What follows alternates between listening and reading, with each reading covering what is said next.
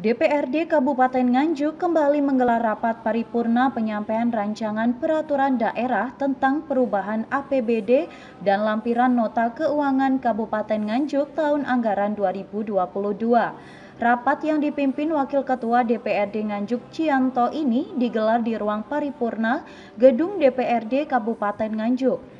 Dalam Raperda Perubahan APBD tahun 2022 ini, APBD Kabupaten Nganjuk diproyeksikan naik.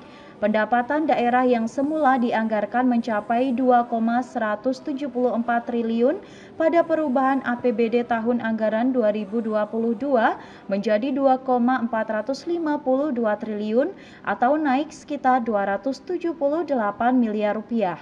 Kenaikan tersebut berasal dari pendapatan asli daerah dan pendapatan transfer.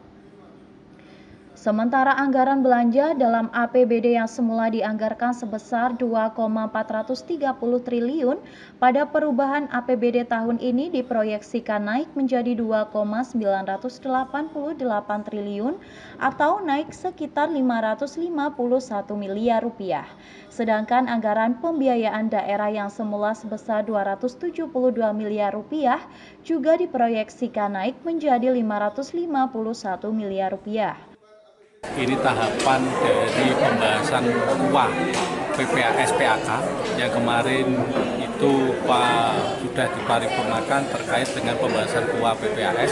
Hari ini itu penyerahan raperda.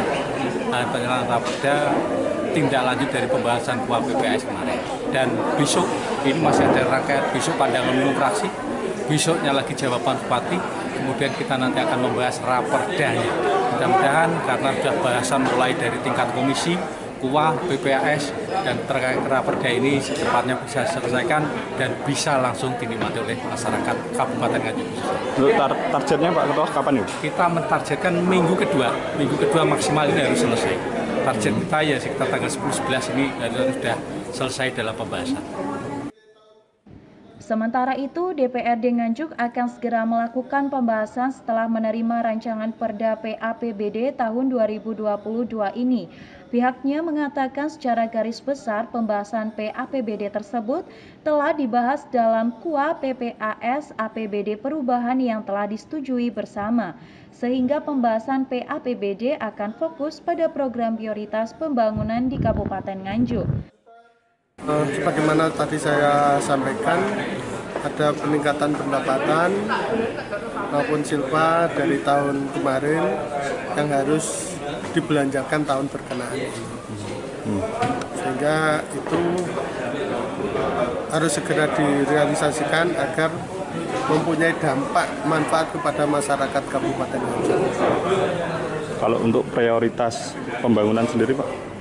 Uh, untuk prioritas pembangunan adalah untuk pemulihan sektor ekonomi akibat dampak COVID-19 yang telah mempengaruhi sektor ekonomi yang ada di Kabupaten Nganjuk.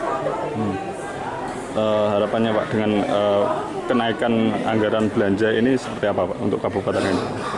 Harapan kami dengan teranggarkannya dan dibelanjakannya anggaran ini mampu menopang uh, dan memotivasi masyarakat untuk bangkit sehingga ekonomi masyarakat uh, segera pulih kembali.